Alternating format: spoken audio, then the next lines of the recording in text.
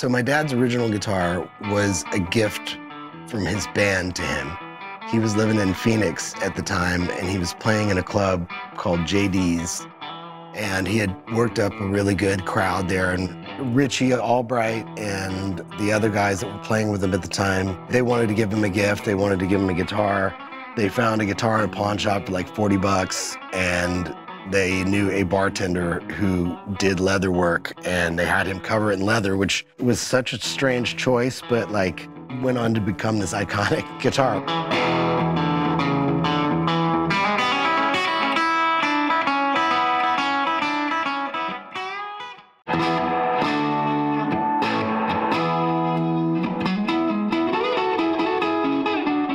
What are we doing here today?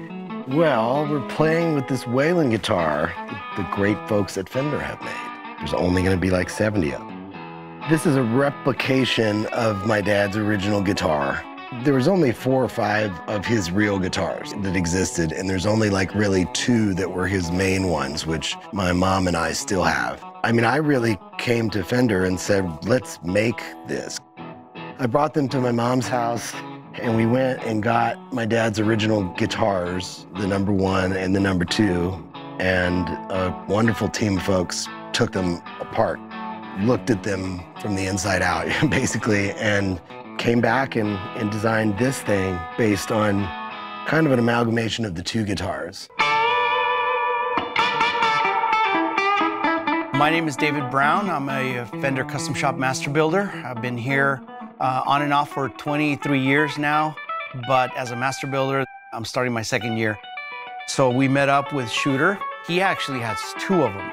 Both of them were mid 50s tellies in butterscotch with the leather wrap. What we decided to do in the end was to do an amalgamation of the two, original one, original two, simply because Number one had a lot of modifications throughout the years. He had leather pick guards, then went to a plastic pick guard, modified the bridge to accommodate EMG pickups.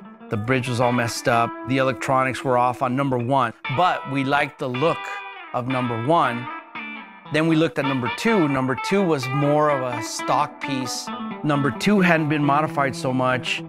In looking at both of them, we photographed both of them extensively and we decided to do use the body and neck of number one with the electronics and hardware of number two. And in doing that, then we realized, well, what do we want to do? How do we want to present the leather? I suggested, why don't we do a snapshot guitar of what it was like in the mid 70s after the banjo key had been installed, maybe the EMG pickups that were later uh, later on put in there weren't there yet. So this is basically what the guitar would have looked like around 1975 or mid 70s, late 70s, before the addition of the other modified parts. The banjo key, it's a banjo key because it's used on a banjo.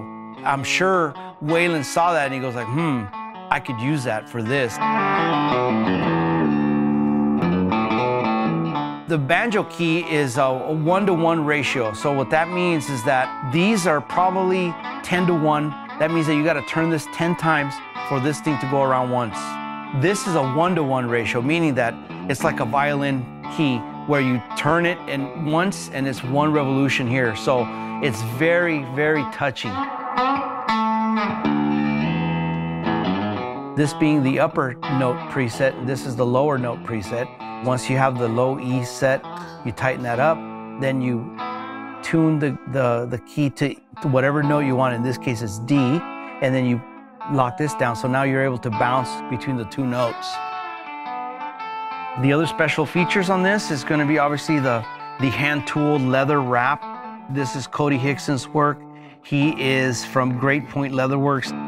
My old friend Cody Hickson did all the leather for this many, many years ago to the summer of 2005. I'm on tour with Toby Keith. They made us go out and like sign stuff at these tables. So we were like out there signing and this guy comes up and he goes, I got a picture of you and your dad on stage. I want you to sign it. And I look at this picture and it's not me in the picture. It's actually my dad's drummer at the time, Jeff Hale's son, Adam Hale. And my first instinct was like, okay, do I tell him the truth and let him down? And this takes a lot longer, or do I just sign it and pretend that I didn't? And I decided not to. I said, I told him, I said, it's not me. I said, I'm sorry, that's not me. You know, he said, okay, cool. Fast forward 2006, I'm having this crisis and I'm like, it's weird. I would like never ever like talk to my dad or something, but I was like, just give me a sign that I'm doing the right thing. Like I was having a hard time and I was going through a lot of shit with our band at the time. And I was like, just give me a sign I'm doing the right thing. And I got back to the bus and our tour manager at the time, Stephen Gudis, was like, shooter, you gotta get to the back of the bus. You gotta see something. And I went to the back of the bus and here's that guy, he brought that picture Cody Hickson. He had bought a Telecaster and he'd covered it in leather like this and gave it to me. And I was like, well, there's my sign that he was there to give me this guitar for encouragement. So all these years later, when we were doing this, I was like, I want him to do the leather.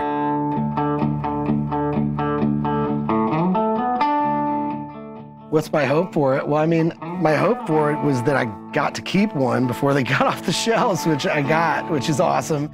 But I mean, I don't know. I hope it, I hope it, it goes out there and does so well they make more of them because I, I, want them floating in the world. You know, I, I think it's an important guitar, and I, I think that it's important that other people start playing it now, you know?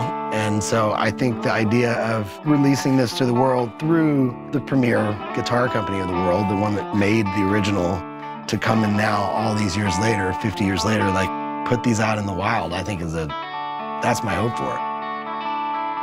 And man, my dad would be super pumped.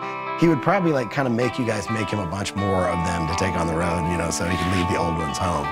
But he'd be blown away by it for sure. I know a lot of people that are gonna be, like, I've had a million people ask me, like, hey, man, can you put me on the list to get one? I'm like, nope, sorry. Who will be the first person to break one on stage? That's the big question. it's like, maybe that'll happen. I want